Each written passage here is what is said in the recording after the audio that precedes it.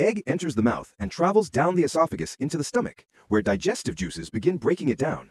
Proteins and fats start separating, and cells prepare to extract every nutrient.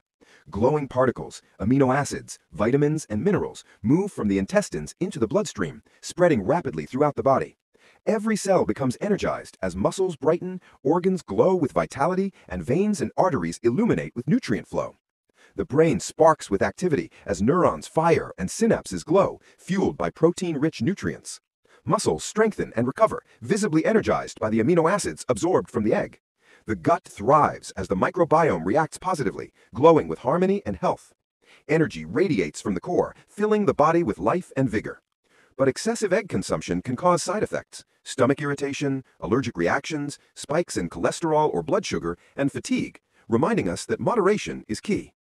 Eggs nourish the body, support muscle growth, enhance brain function, and contribute to overall health when consumed wisely.